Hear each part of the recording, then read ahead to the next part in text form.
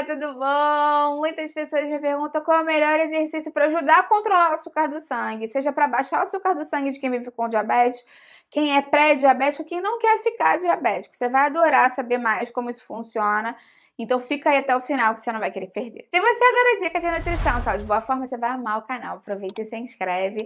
Lembra de ativar o sininho para receber as notificações. Eu tenho vídeo novo todos os dias, você vai amar com certeza. Aproveita também e dá um pulo no Instagram. Me segue por lá que eu tenho outros vídeos, dicas, novidades. É o mesmo nome aqui do canal, arroba nutricionista Patrícia Leite também.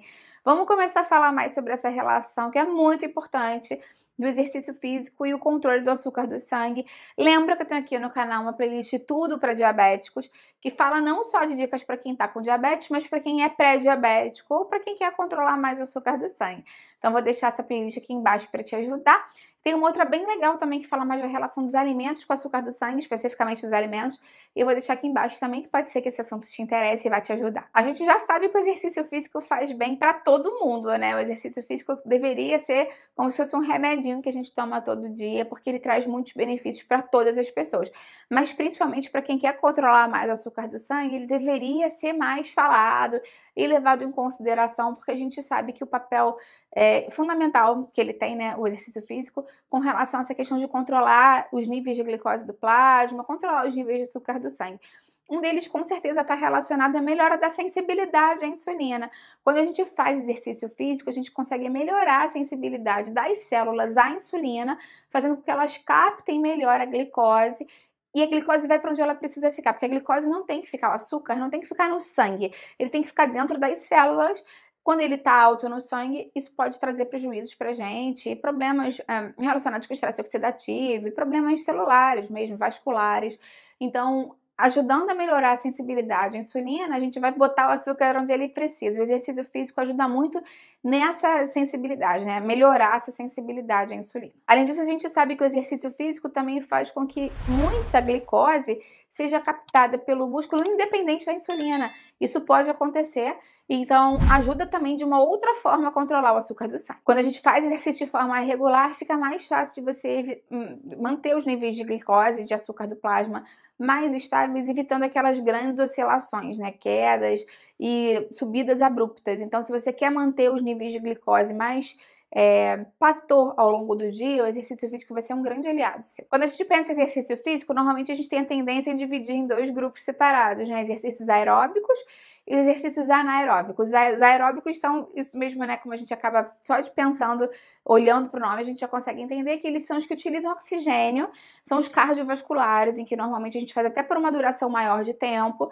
que a nossa frequência cardíaca sobe. Então, eles ajudam muito a controlar mais é, essa parte cardiovascular, a treinar mais o nosso coração, oxigenar mais o nosso corpo, melhorar a circulação sanguínea e também consomem glicose, bastante glicose naquele momento da prática esportiva. Já os exercícios anaeróbicos, os exercícios de força, os exercícios de resistência, são realmente isso, né? Eles estão relacionados com a gente não utilizar oxigênio, a gente usa creatina fosfato ou outras fontes energéticas durante esse treino e normalmente eles são musculação, pilates, é, são treinos com peso, com o próprio peso do próprio corpo, em que normalmente a gente faz em séries e que normalmente a frequência cardíaca sobe muito durante a prática e abaixa muito logo depois que a gente fez aquela série do exercício, né? Então ela, ela tem essa oscilação e ela tá muito mais focada em ganhar massa muscular, ter resistência do músculo, hipertrofia muscular, o que é super importante também. Apesar dele não ter um gasto calórico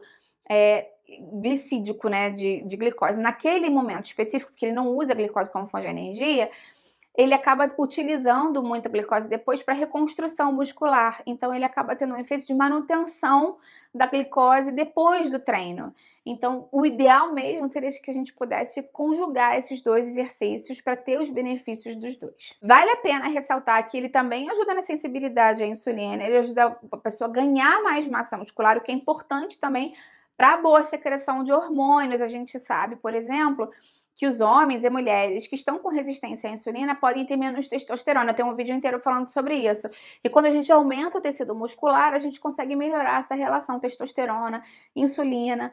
Então, se você quiser saber mais sobre isso, eu vou deixar aqui embaixo. Mas uma das maiores coisas que a gente pode fazer para melhorar a testosterona e a quantidade de massa muscular é a musculação. Quando a gente pensa em conjugar dois tipos de exercício, pode parecer muito desafiador para as pessoas, porque a gente fala assim, eu não vou conseguir fazer muitas horas de exercício, eu não tô, enfim, né, condicionado fisicamente, eu não tenho tempo para isso.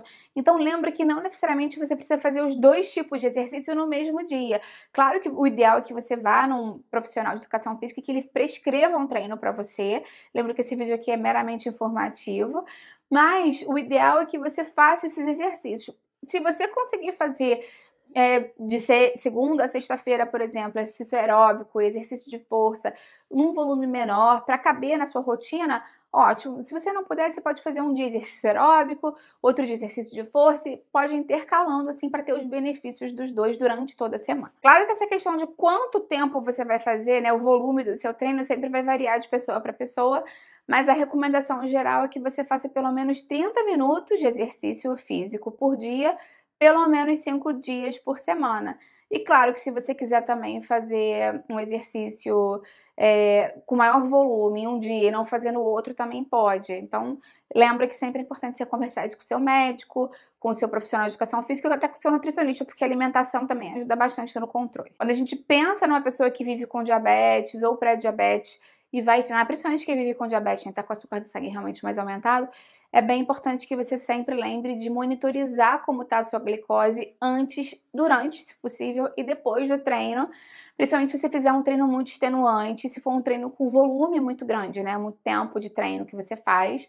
Lembra sempre que é importante que você veja como está sua glicose antes, para você não treinar com hipoglicemia.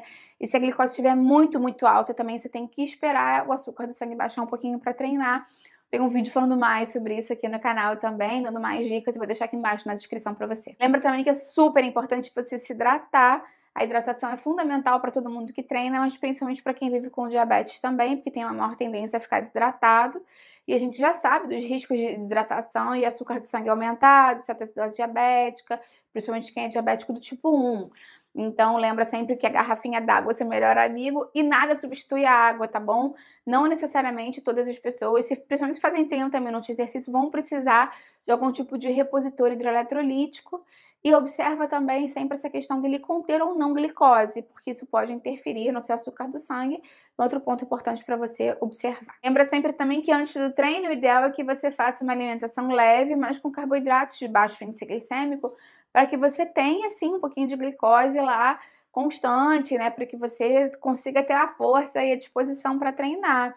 E que depois do seu treino, o interessante é que você também consuma carboidrato e proteína para ter recuperação muscular. Eu tenho uns vídeos aqui no canal bem legais falando mais sobre o que comer antes e depois do treino, vou deixar aqui embaixo na descrição para você. Então, de forma bem resumida, o exercício físico é fantástico para nossa saúde. Ele ajuda bastante no controle do açúcar do sangue, pode ajudar inclusive a diminuir a hemoglobina glicada, ele ajuda a melhorar a sensibilidade à insulina, ele ajuda a melhorar a sua parte cardiovascular, que a gente sabe também é muito importante para quem vive com diabetes, pode ajudar a controlar o colesterol, que também é muito importante para quem vive com diabetes. E na verdade, o ideal mesmo é que você pudesse conjugar o exercício de força com o exercício aeróbico para melhorar essa parte cardiovascular e aumentar a massa muscular, que vai ajudar o seu corpo de uma maneira bem mais ampla. Me conta aqui embaixo, então, se você é diabético, pré-diabético, se você tem algum caso na família e fica preocupado em ficar diabético, se você faz atividade física, que atividade física você faz? Você vê alguma melhora no controle do açúcar do sangue assim direto quando faz? Conta tudo pra mim, que eu vou adorar ver seu comentário. Lembra de deixar curtindo no vídeo, que isso me ajuda muito. E compartilha com quem vai gostar, com quem precisa. Vamos juntos ampliar essa corrente do bem, que é isso que eu quero aqui com o canal. Até a próxima. Tchau, tchau.